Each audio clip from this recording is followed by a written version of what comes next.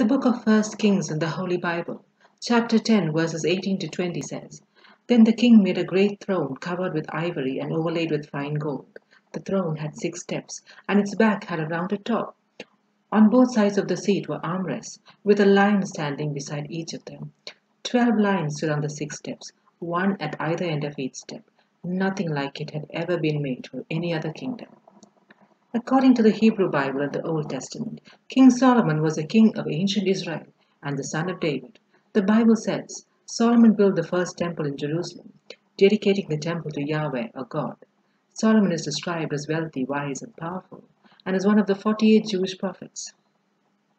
In the New Testament, he is depicted as a teacher of wisdom. In the Holy Quran, he is considered to be a great Islamic prophet and is generally referred to as Sulaiman ibn Dawood or Solomon, son of David. We have all heard stories of Solomon's wisdom, but how many of us have heard of Solomon's magnificent throne?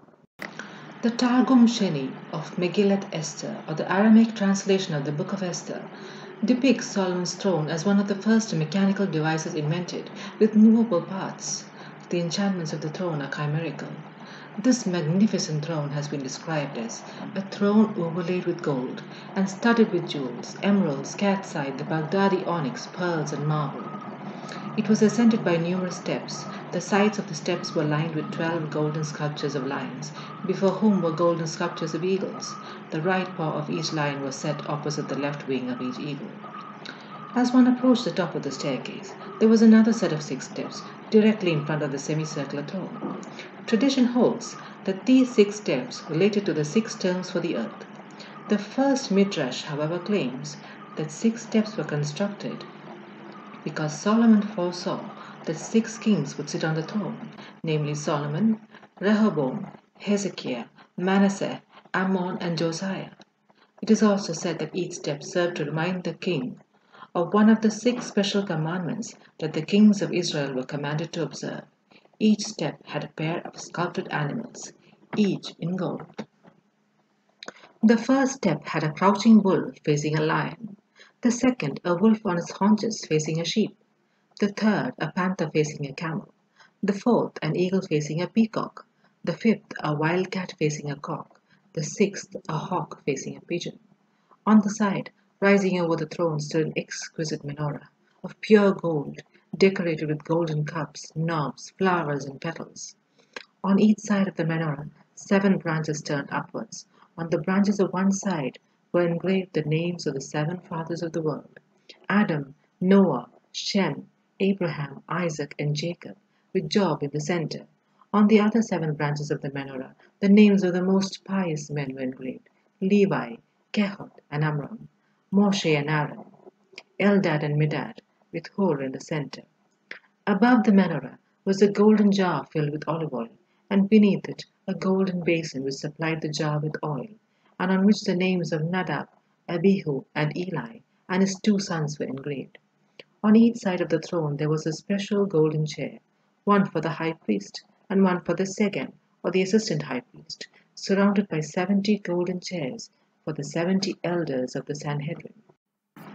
At the two sides of King Solomon's ears were fixed two fish of the sea. On the top of the throne was a dove holding a sparrow hawk in its claws, symbolizing the dominion of Israel over the Gentiles. At the very top of Solomon's throne were fixed twenty four golden wings that provided a protective shade and covering for the king. By a mechanical contrivance, the throne followed Solomon wherever he wished to go. Allegedly, due to another mechanical trick, when the king reached the first step, the ox stretched forth its leg on which Solomon leaned, a similar action taking place in the case of the animals on each of the six steps. From the sixth step, the eagles lifted the king and placed him in his seat, near which a golden serpent lay coiled. When the king was seated, the large eagle placed the crown on his head, the serpent uncoiled itself, and the lions and eagles moved upward to form a shade over him. The dove then descended, took the scroll of the law from the ark, and placed it on Solomon's knees. When the king sat, surrounded by the Sanhedrin to judge the people, the wheels began to turn, and the beasts and fowls began to issue their respective cries, which frightened those who had intended to bear false testimony. Also, as King Solomon was ascending the throne, the lions scattered various fragrant spices.